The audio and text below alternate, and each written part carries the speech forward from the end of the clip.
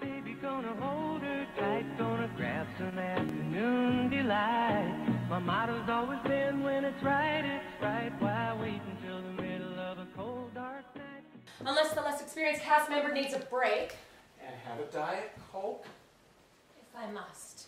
Do you want me to describe his You played with this little. anchor? Fun. But he's an unction. Hi. I don't think so.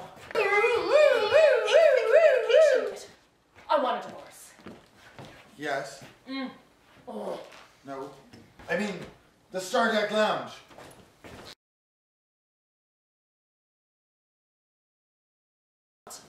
I see you're still in the Maple Leaf sector. There will be litigation. David doesn't even know his own name. Claire is extra. Life theatre isn't supposed to be like this. yes. Engineer gave me clearance when he promoted me to be his personal assistant. It's on the cutting edge of technology developed by the Uncture in the Great. Earth will get overpopulated again.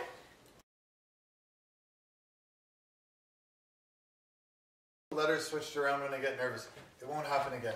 And Sex in the afternoon, but it's not really a sexy play. I You mean, could just handle one more tiny change. I'm asking you. Your life is a mess.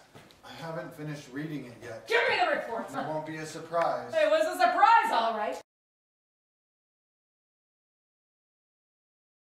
I want to see you two together in the dressing room, lights on or off. Got it? Is that what this is all about? All the late nights, marathon rehearsal sessions.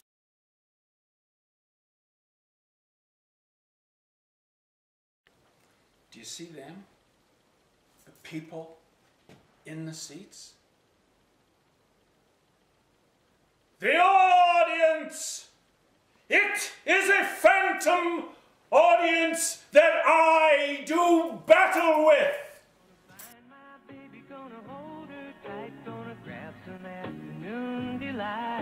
My motto's always been when it's right, it's right. Why wait until the middle of a cold?